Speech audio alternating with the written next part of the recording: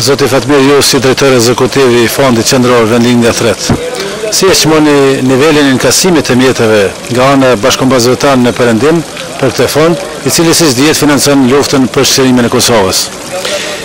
Grumbullimi i mjeteve në vitin që jemi është shumëfishuar në krahasim me vitin e kalum, pasi që bashkëdhetarët tanë në diaspor e kanë të qartë se ku duhet kontribuar dhe kry obligimet e veta ndaj Kosovës dhe cili është fondi që e ndihmon Ushtrinë Çlirimtare të Kosovës.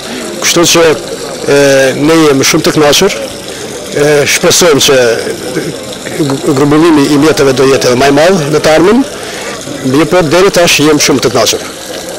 Ju punoni në Norvegji. Çfarë është gatishmëria e afaristëve shqiptarë për të ndihmuar këtë fond? Në Norvegji, për dallim, mund ta cekë prej shteteve të tjera, është vendi që i pari që e kontribuoi dhe ndihmoi Ushtrisë Çlirimtare të Kosovës që nga fillimi i vitit nëntëdhjetë e tetë e tash. Dhe tu falënderu bashkatdhetarët tanë në Norvegji, njëkohësisht edhe afaristëve tonë që janë atje. Po a janë duke hulumtuar forma të reja të organizimit të këtij fondi, përkatësisht të grumbullimit të mjeteve për fondin Vendlindja Thërret në diasporë?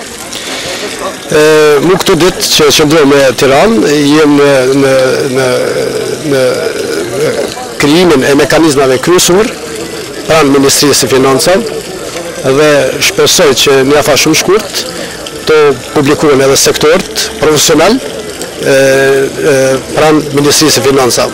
Kështu që edhe grumbullimi i ndihmave do jetë në mënyrë më profesionale, edhe destinimi i tyre do jetë në mënyrë ma profesionale dhe shpresoj që edhe bashkatdhetarët tanë do kenë mundësi që mjetet e tyre të shfrytëzohen sa ma shpejt për atë që i ka dhonë mjetet.